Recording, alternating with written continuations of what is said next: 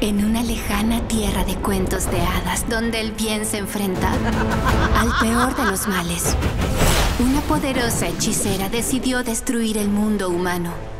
Envió un tornado espantoso a la tierra. La magia blanca detuvo el tornado. Pero era demasiado tarde. Y se llevó a una niña llamada Dorothy a la tierra mágica. Pero la acompañó su amigo de cuatro patas Totó.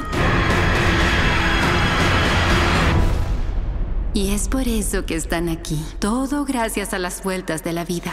Y yo que me había portado tan bien. Tati Fernández es Dorothy. Oliver Warner es el espantapájaros. Si quieren regresar, deben seguir el camino amarillo que los llevará a la ciudad Esmeralda. El gran mago de Oz puede hacer que Dorothy vuelva a casa si ayuda a tres criaturas mágicas a cumplir sus deseos más anhelados. El espantapájaros sueña con tener un cerebro. El hombre de hojalata sueña con un corazón. Y el león cobarde sueña con ¡Ser valiente! ¿Ah? ¡Ay! ¡Ratón! ¡Anda, ruge! Vuelve al mundo del mago de Oz. Esta será una aventura que vivirán juntos.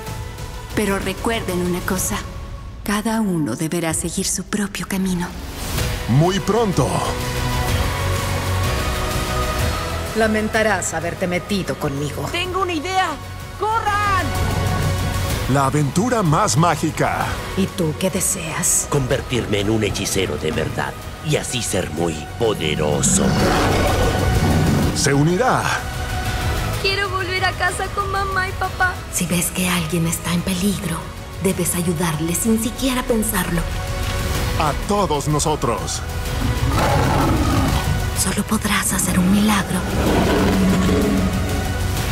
si te olvidas a ti misma y obras por el bien de los demás. ¡Dorothy! ¡Sujétate! Es el milagro que ningún otro mago es capaz de realizar. El maravilloso mago de Oz. Próximamente solo en cines.